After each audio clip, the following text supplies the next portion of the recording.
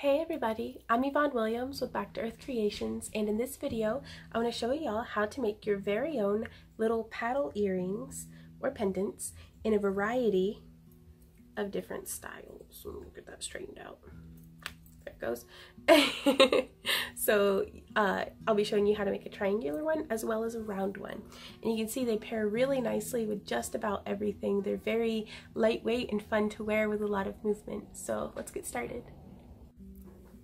These earrings can be made out of a variety of different metal types, though I do prefer dead soft aluminum. So to get the technique down, and I'm really sorry I don't have a better colored background for demonstrating this, so hopefully you'll be able to see, um, is I am just laying it on a flat, large flat surface. You could also use an anvil, but this one has quite a bit of texture and stuff on it and it tends to jump around on me so I really like my granite slab. And I'm just going to start hammering from the end and then working my way up and I'm using the nylon side.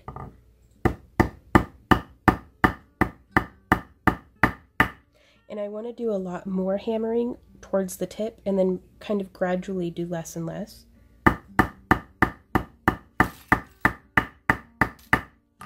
So that way we get a really nice spread just there on the tip. And I'm trying to hammer about half an inch up from the tip. You could do more or less just depending on your own preference, but I'm trying to stay consistent with just that. So now that we have that half an inch hammered, I am going to cut this at two inches from the tip.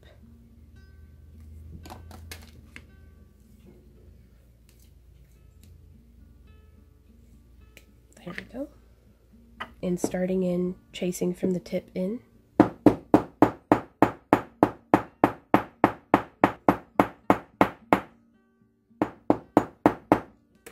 There we go.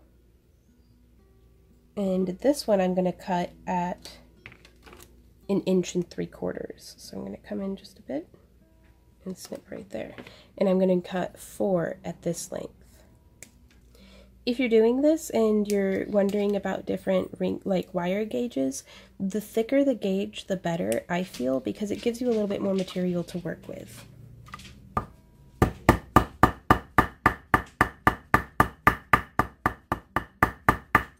Like a um, a 20 gauge wire just it doesn't have as much material there to spread as you hammer as what a 16 or 14 gauge would. Okay, so now I'm going to do this one at an inch and a half just very little, you know, increments, but I want a very nice slight gradient. You can see on these pliers, I have marked a little notch in the nose of the blade, or not blade, in the, I don't know, just the nose of the pliers on this part. So I'm going to start with just lining it up with the notch on the pliers, and then picking the prettier of the two sides. I like this side. So I'm going to be bending away from myself. And I'm just doing an offset loop. Normally, whenever I'm making a loop, I want it centered like a balloon, but these ones, I like having it like a P. Where is that a Q? Uh, hashtag dyslexic. Um, and so I'm going to do that to the other one of the same length. Again, picking the side that I prefer. And also, you can go through with a metal file and really fine tune and shape these lining up with the notch on the pliers. If you don't have a notch etched in, uh, you could just use some a, a permanent marker.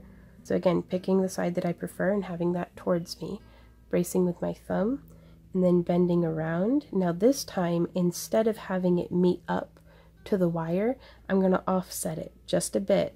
That way it'll stack on itself. Bringing my pliers around. And what I'm doing now is that is going to behave as the spacer. And you could have it come all the way around, but I found that just having it to about there or so is super effective. Because now whenever we have them stacked side by side, it's going to have that there as a spacer. Now something that you want to keep in mind on the next loop though, is you don't want it on the same side on each one. You want a mirror image, not just duplicated. So to do that, lining up with that notch, bring it around, but instead of having it stack on the top, I'm going to have it stack on the bottom. And I keep adjusting my pliers to keep it to where it's going to line up with the notch because because of the way that my pliers are shaped, if I have it grow down the end, it could shrink. If I have it grow up the this end, then it could go larger. And I want it to stay roughly the same size. And you can see I'm squeezing a little harder than I ought to, and it's putting some notches into our wire. It's not the end of the world, but I'd like to avoid that if I can. And so a lot of that is to just build up practice and confidence in your work. So now we're going to take our rings.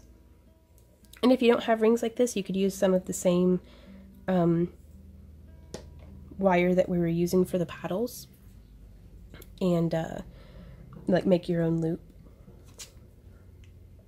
but I've got it opened like this. And then I'm going to thread on our small paddle.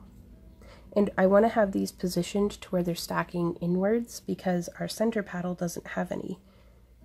And that way they'll stay kind of equidistant. I'm threading that paddle on and now threading on our next one. And then threading on our last one. And so you could do this as like an earring or a necklace or any sort of thing. So I'm doing this as earrings. So I'm going to thread on the ear hook and then I'm going to go ahead and close it. And it sits just like that. And they kind of poke like silly out the sides, um, but you can take it and bend it around. You can see I'm pressing with my thumbnail. You could also use your flat nose pliers and I'm just giving it a little bit of a bend. Yeah, I like the middle ones without a bend. And there we are. Some nice little paddle earrings. So instead of using a circle, we could come through and use our flat nose pliers. I'm coming in about an inch from the end. And bend. And then I'm going to thread on all the way onto the end. And then getting that kind of nice and snug up on each other. I don't want too much wiggle room, but I also don't want it to be like cramped. And then grabbing like so.